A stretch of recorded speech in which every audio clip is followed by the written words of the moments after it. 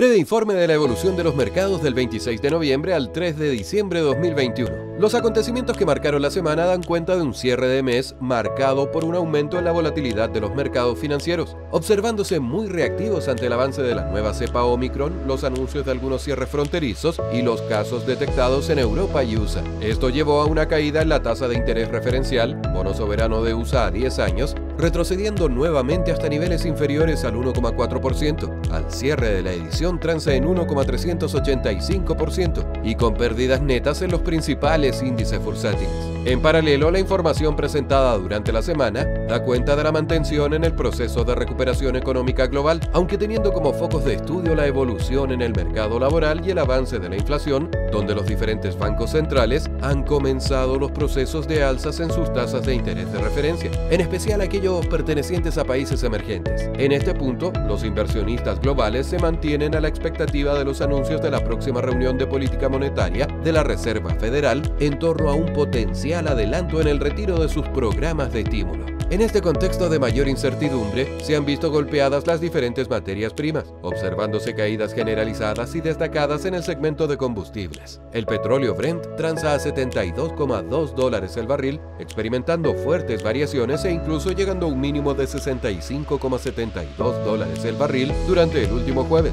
Fluctuaciones que incluían las expectativas ante una resolución por parte de la OPEP, quienes finalmente decidieron mantener el aumento programado en la producción de petróleo a partir de De igual forma, el gas natural continúa su tendencia a la baja.